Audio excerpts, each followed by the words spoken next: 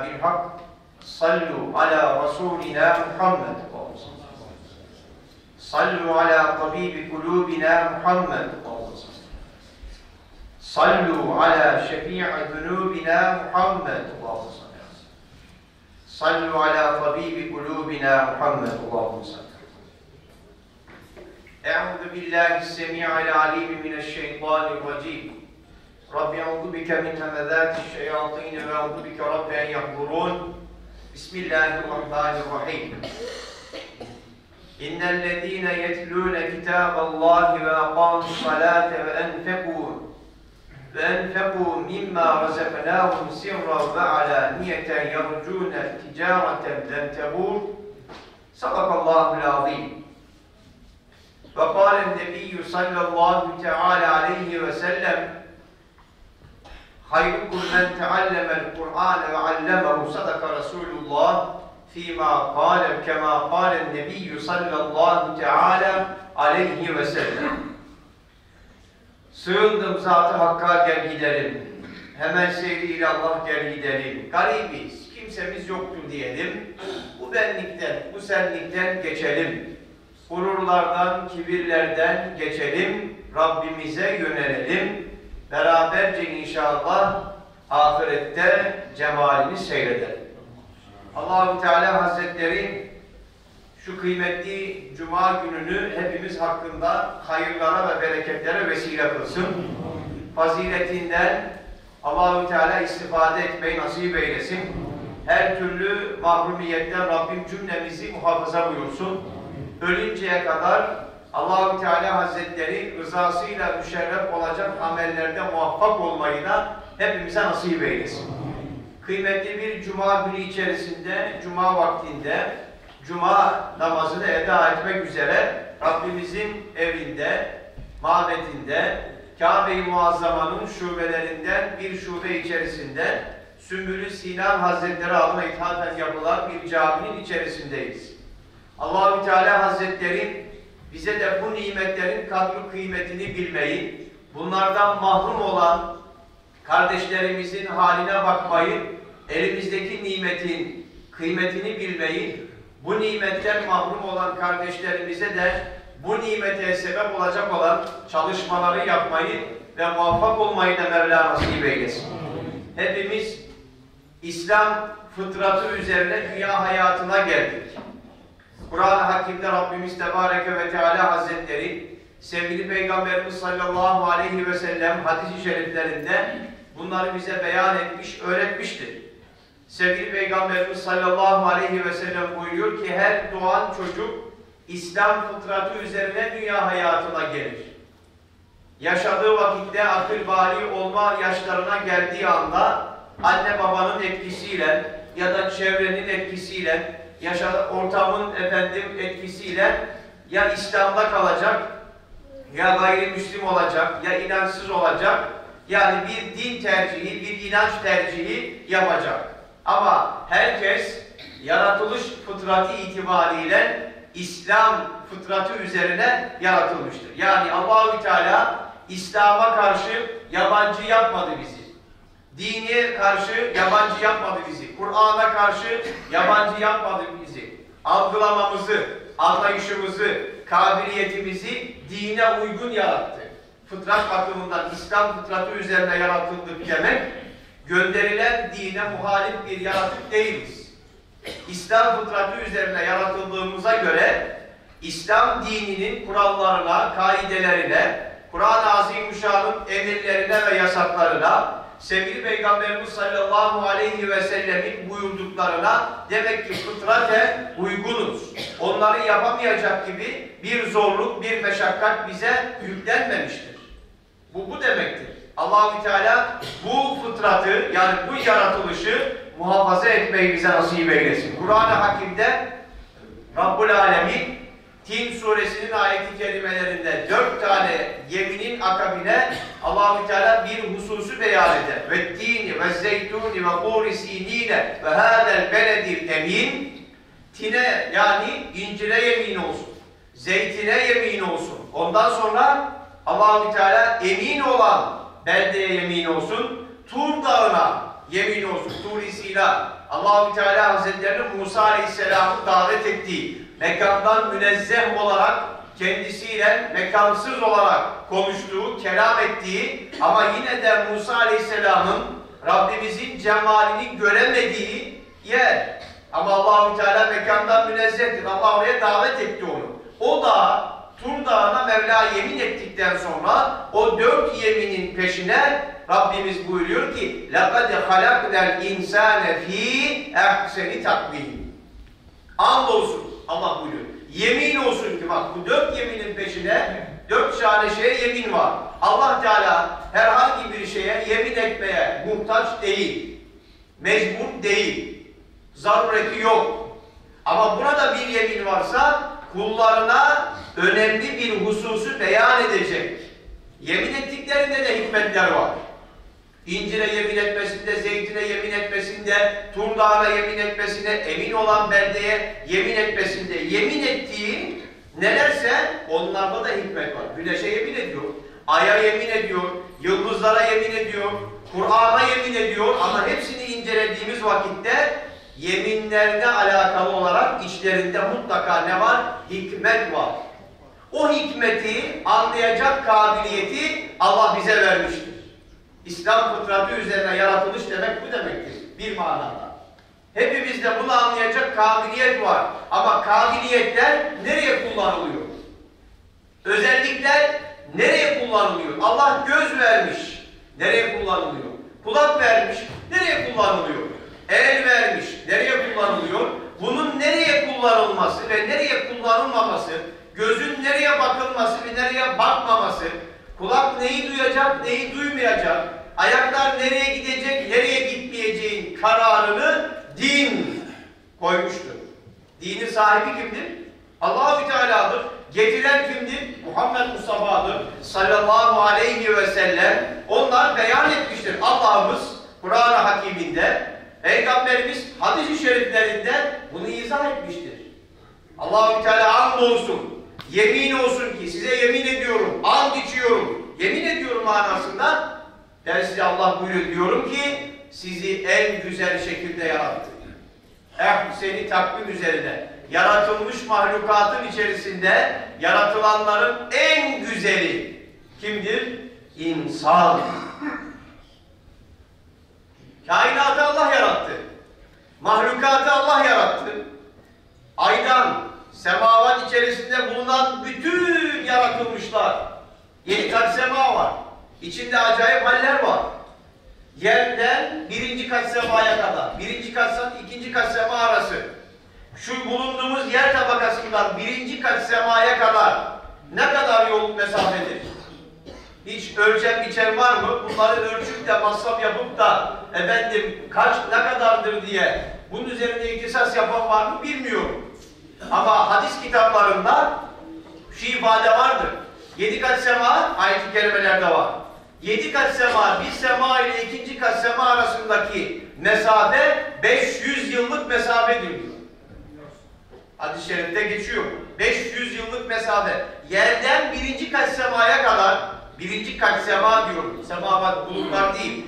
Zaten uçağa bindiğimiz vakitte bulutların üzerine de çıkıyoruz. Ama Rabbimizin kastettiği birinci kat sema ne kadar? 500 yıllık mesafe. Hangi hızda? Uçak hızı mı?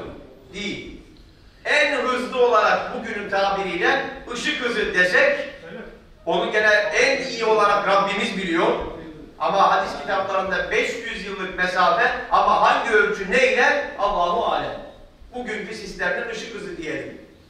500 yıllık mesafedir. Bu kadar mahlukatı da yaratan, dizayn eden, bir nizama koyan Rabbimiz. Ama yaratılanları içerisindeki insana Allah farklı bakmış, farklı beyan etmiş. Hepsinden daha farklı özellikleri var. Ve farklı beyan etmek kaydıyla buyurmuş ki seni takvim.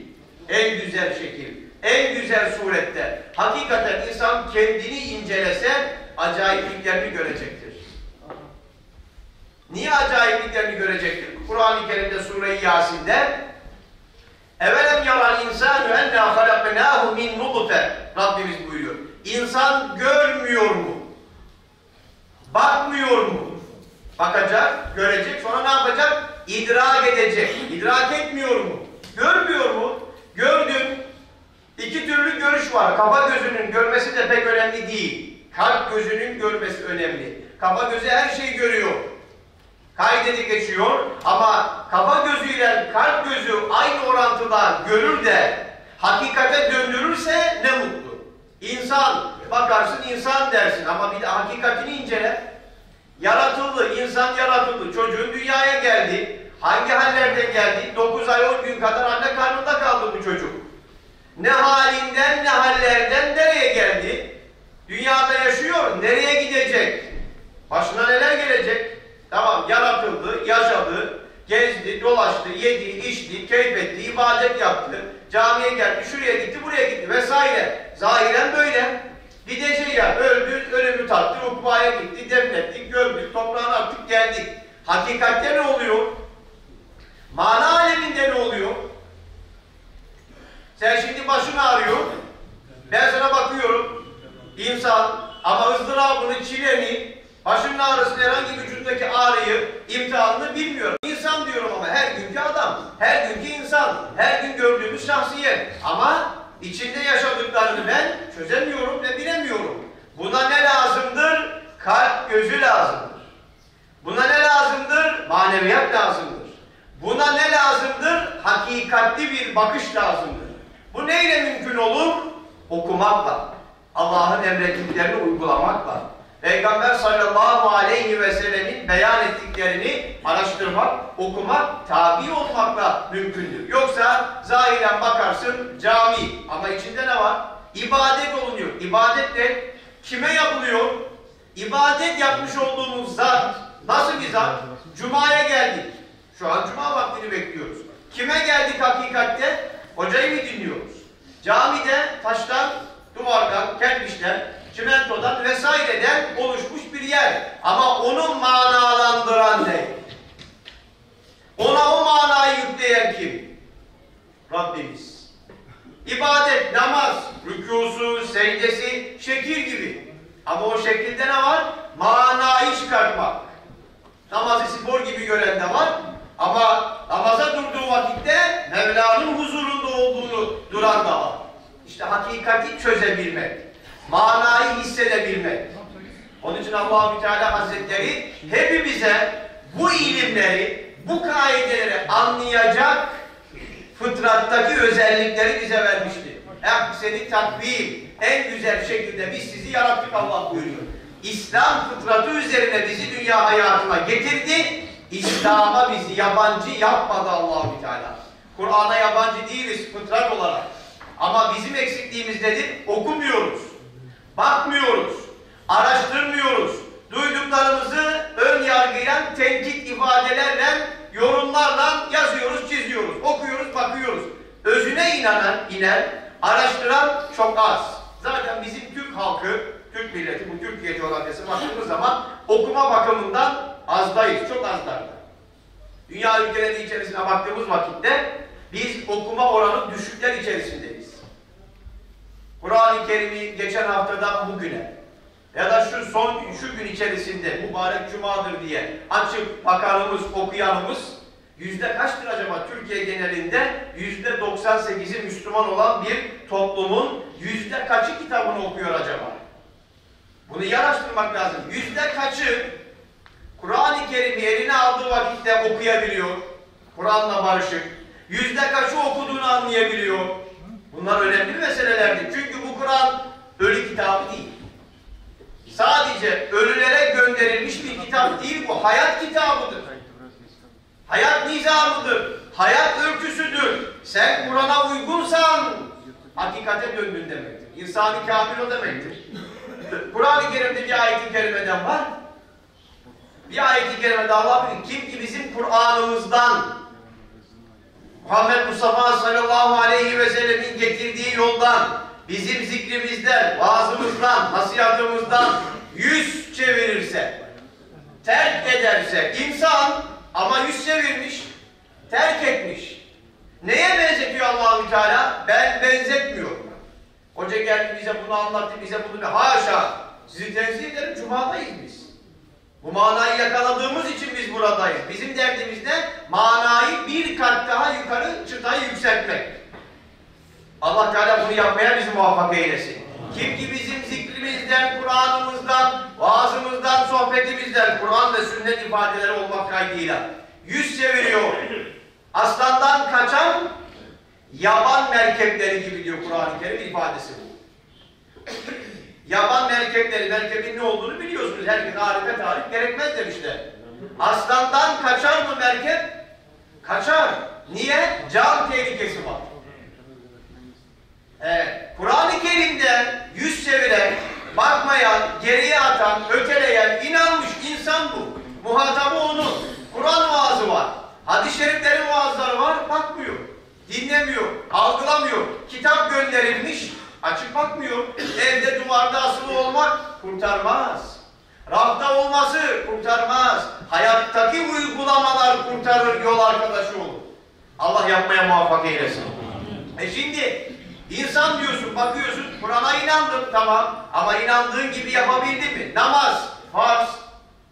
Beş vakti kılabildiysen ne mutlu. Allah kılmaya muvaffak eylesin. Ama ben duyuyorum, aldığım haberler ve sizden de duyduğum halde, haberde her evde namaz bakımından sıkıntı var. Kur'an okumak bakımından sıkıntı, problem var. Var mı?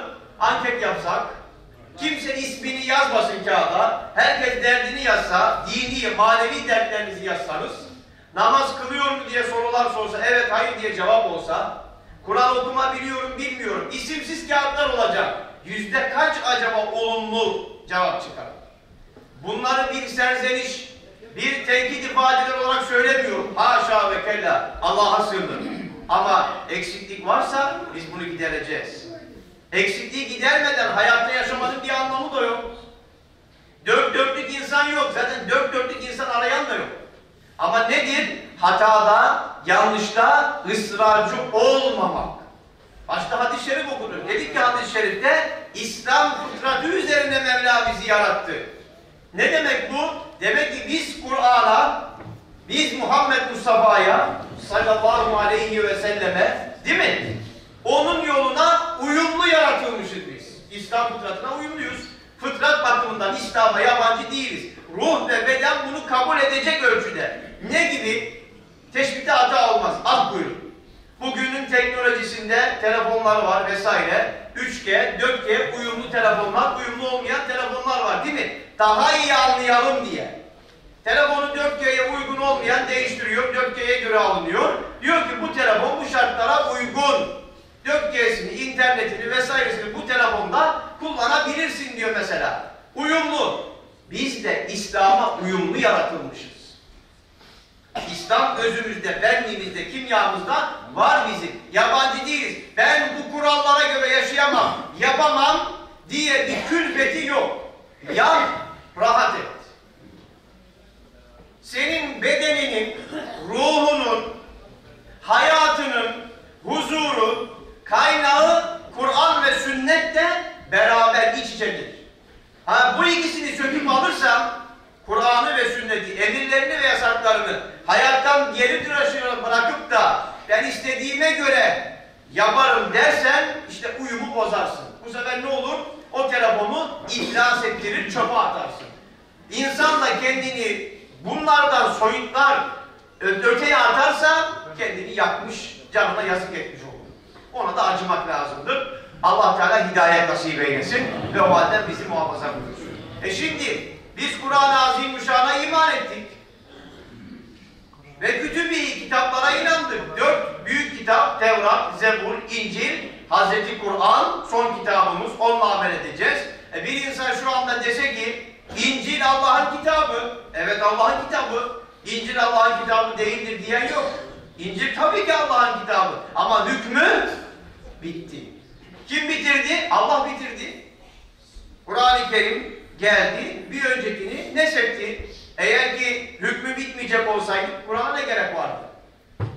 Tevrat geldi, Zebur hükmü kaptı. Allahü Teala gönderdiğini kendi değiştirmiştir.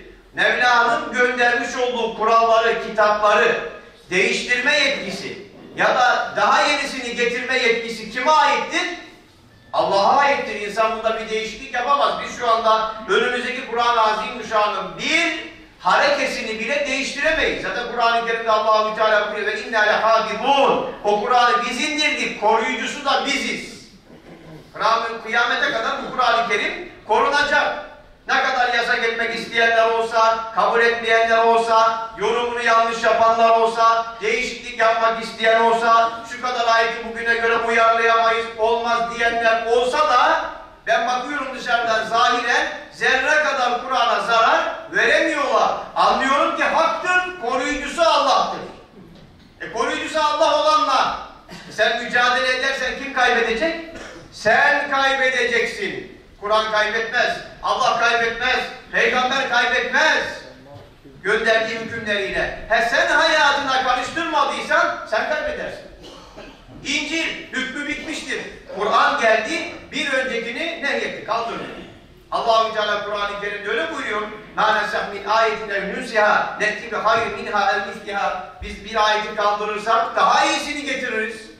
Ya iyisini daha iyisi. Bu yetki Allah'tadır. Kur'an-ı Kerim'de önceki kitaplarında ne seçmiş Allahu Teala? Kur'an'ı göndermiş. Ne zamana kadar geçerli bu Kur'an? Kıyamet kopuncaya kadar. Hak kitap, son kitap. Ne kadar onunla mücadele edersen et. Ne kadar aykırı sözleri, Kur'an'ın ruhuna uymayan sözleri bazı ekranlarda, bazı biliyorum adına konuşanlardan maalesef büyük bir üzüntüyle dinliyoruz.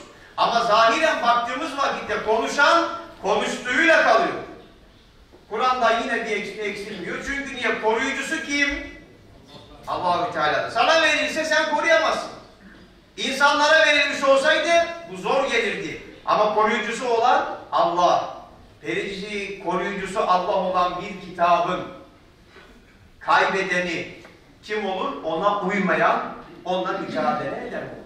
Allah Kur'an'a uymayı, okumayı, anlamayı hepimize nasip eylesin. Sevgili Peygamberimiz sallallahu aleyhi ve selleme sahabe-i kiram soruyor. Hayırlı amel hangisi? Güzel amel hangisi? Amellerin en? Sevgili Peygamberimiz sallallahu aleyhi ve sellem buyuruyor ki konu göçendir buyuruyor. Tirmizi hadisinde. Ya Resulallah konu göçen kimdir? Kondu göçtü. Efendimiz sallallahu aleyhi ve sellem buyurdular ki el cevaben yine izahatını kendileri buyurdular. Kur'an-ı Kerime'yi okumaya başladınız. Sonuna geldiniz, hatmettiniz. Kondu, siz okudunuz, bitti, göçtü gibi oldu. Ama yine devam ediyor. Başından başlarsın, yine okursun. Bitirirsin, yine hatme başlarsın. Hiç Kur'an-ı Kerim o kadar hatim ettim deyip de sıkıldım ya. Bunda da bir tat yok. Okudukça eskiyor diyeni duymadık haşa ve kella. Okudukça rahatlayanı, okudukça huzur bulanı daimi duyduk ve duymaya da devam edeceğiz inşallah. Ama falan artist bir şarkı sözü yazmış. Beş kere okuduktan sonra sıkılıyor. Hep aynı şeyler yenilik istiyor. Ama namazın her rekatında Fatiha'dan kimse sıkılmıyor. Nedir bu? Mucizedir. Kur'an muciz, okuyan, siz söyleyin, aciz. Hakkıyla okuyan yok. Allah hakkıyla okuyanlara ilhak eylesin. Hepimize. Mucize bir kitap. Efendimiz sallallahu aleyhi ve sellemin de en büyük mucizesi nedir? Kur'an-ı Kerim'dir. Hiçbir yerinde tezat yok. Allahu Teala biz sen onu Araf suresinin ayet-i kerimesinde buyuruyor ki biz o Kur'an'ı sana yolladık, senden gönderdik. Bu Kur'an'ı biz seninle ümmete duyuracağız diyerekten sakın senin yüreğinde, gözünde, kalbinde bir üzüntü, bir darlık olmasın.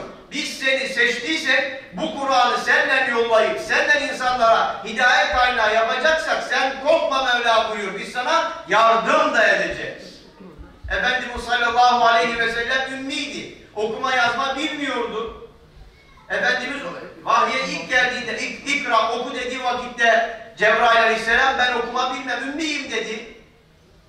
Ondan sonra Allahu Teala başka ayet-i kerimelerinde buyuruyor. Sen hiçbir şey bilmez olduğun halde Allahu Teala seni okutmadı mı? O yani bildirmedi mi? Yetim kaldığın halde Mevla seni barındırmadı mı? Bakmadı mı? Efendimiz sallallahu aleyhi ve sellem hakkında beyan ediyor. Bilmediklerini Rabbin sana öğretmedi mi? Ta Adem aleyhisselamdan başta bütün peygamberlerin, Kur'an-ı Kerim'de 25 kadar peygamberin ismi geçiyor. Onların hayatlarından hepsinden haber verdi Kur'an-ı Kerim'i getirdi Rabbimizden. Kim getirdi? Muhammed Mustafa getirdi. Sallallahu aleyhi ve sellem.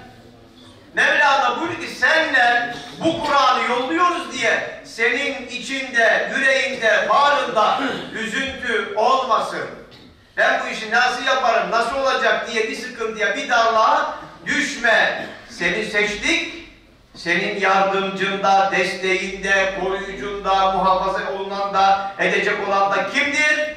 Siz söyleyin, alemlerin Rabbi olan Allah'tır. Peki, gelelim bugüne.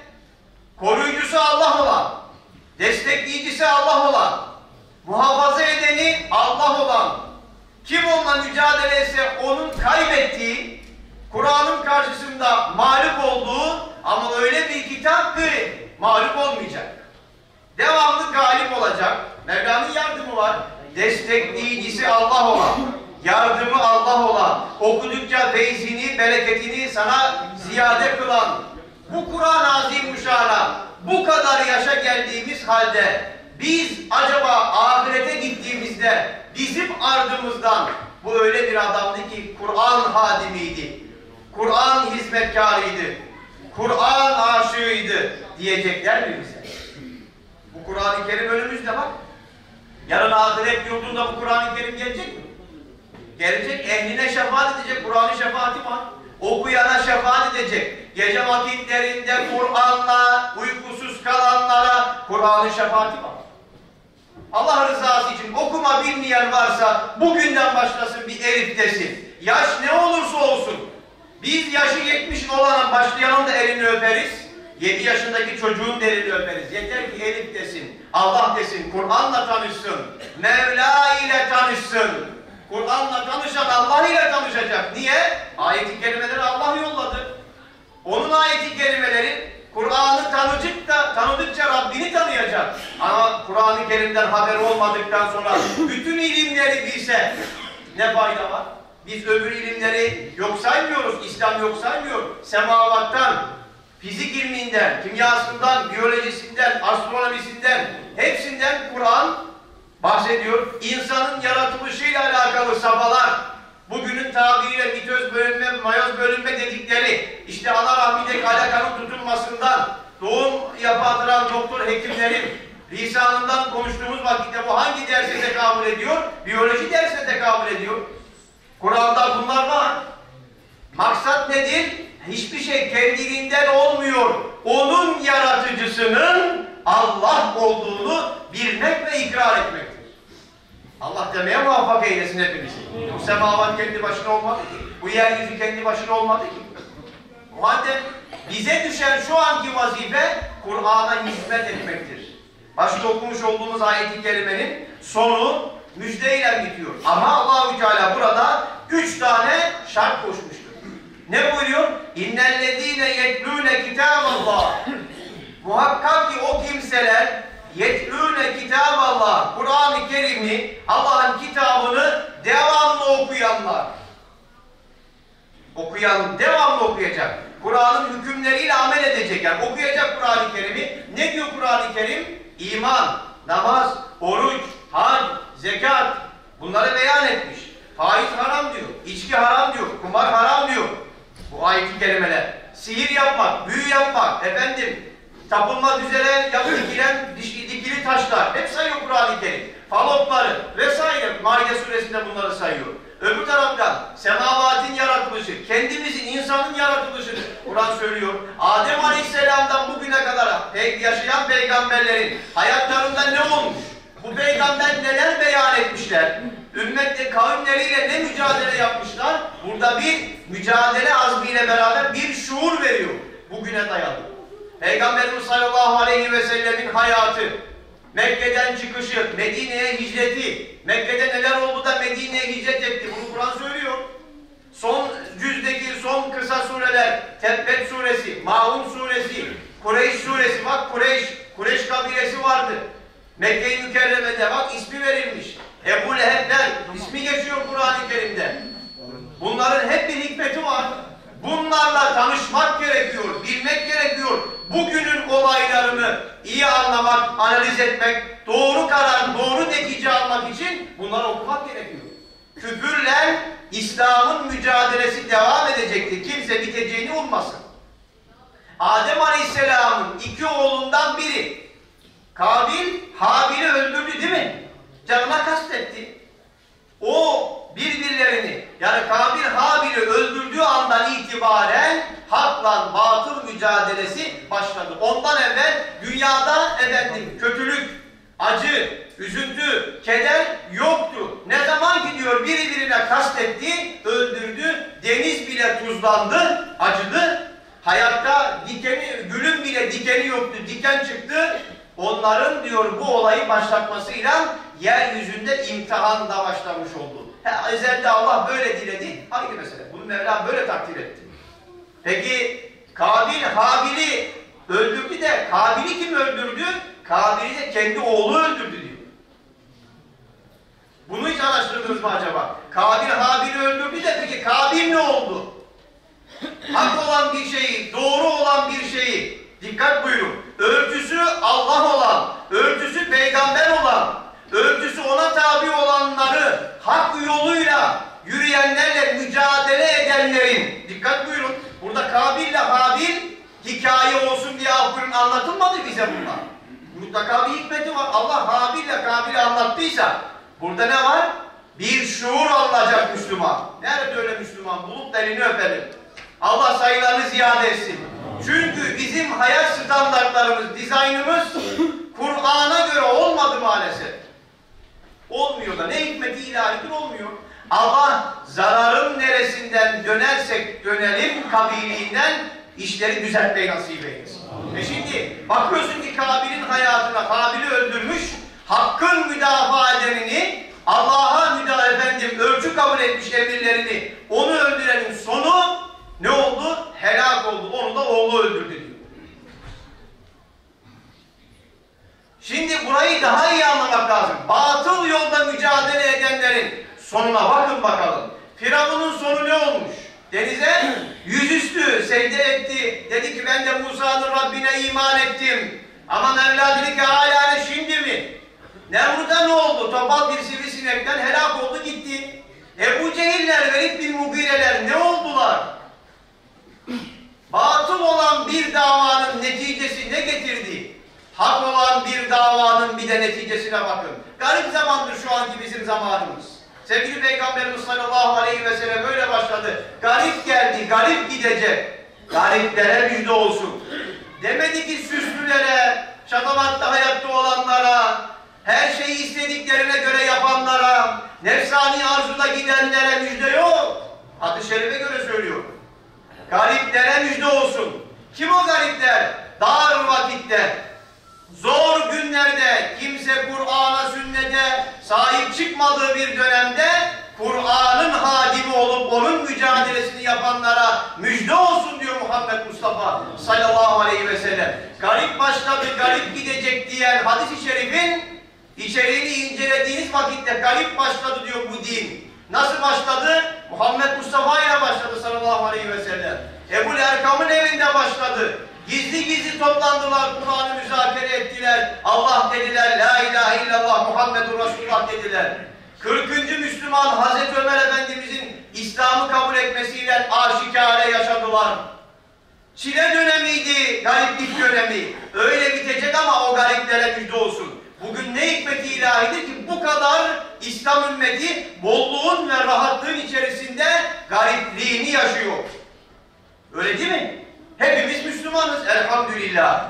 Ama ve lakin bu kadar Müslüman toplumun içerisinde Kur'an okuyanlar, Kur'an'a hizmet edenler, Muhammed Mustafa sallallahu aleyhi ve sellemin yolundan taviz vermeden hizmet edenler ne kadardır acaba? İşte o gariplere müjde olsun.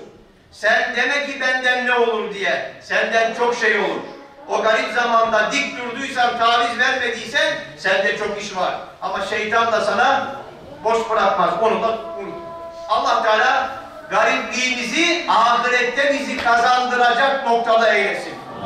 Şimdi Kur'an-ı Kerim diyor ki Allahu Teala İnnellezine yetlûnel kitâballah O kulların ki kitap Kur'an-ı Kerim'i okudular. Ondan sonra ve kamusala namazı dosdoğru kıldılar ve enfekû mimmâ razaknâhum onlara vermiş olduğumuz rızıklardan Allah yoluna gizli olaraktan aşikar olaraktan ne yaptılar? Harcadılar. Ticareten len temur diyor Kur'an-ı Kerim. Bunların ticaretleri asla zarar etmeyecek. Şimdi şu dersten, şu ayeti kerimeden acaba ne anladık? Mevla Kur'an okuyanlar. Bundan sonra okuyacağız inşallah tamam mı? Cumartesi, Cuma günü, Cuma'ya gelenlerimiz, hepimiz bundan sonra hayatın her gününde günümüz Kur'ansız olmayacak. Allah'a söz verin, bana değil. Sümbül Efendi cemaatisiniz. Bu kadar bu çevrede Müslüman insanlarız. Bu kitap bize geldi. Okuyacak mıyız? İnşallah değil mi? Söz mü? Allah'a verin sözü bana değil. Her gün Kur'an okunacak. Bu kadar sıkıntılı süreç bak memleketimizin ahvali de belli. Sınırımız da karışık. Düşman durmaz. Bizi Kur'an kurtaracak. Kur'an'ı sahiplenmek kurtaracak. Muhammed Mustafa'ya bağlılığımız bizi kurtaracak. Çünkü bu millet en zor dönemde imanıyla kurtuldu. Doğru mu? Çanakkale'de imanla kurtulduk. Ecdadımızın çalışması. Çok güçlü bir tüfeğimiz, füzemiz, teçhizatımız yoktu. İman bizi ayakta tutacak. O halde biz yeniden Kur'an'a sarılacağız. Kur'an'a hizmet edenlere de biz hizmet edeceğiz. Kur'an'a hizmet edenlere de hizmet edeceğiz. Muhteremler, benden ne olur deme. Bu kadar ümmet içerisinden, bu gariplik içerisinde bize kadar iş kaldıysa, anlıyorum ki ben de buradan kendi münferit olarak bakıyorum. Bize kaldıysa bu iş, eğer ki bizden bir şey çıkmayacaksa inşallah böyle bir şey olmaz. Allah bizim çalışmalarımızla yine bir sonraki nesile bunu aktarmayı nasip eylesin.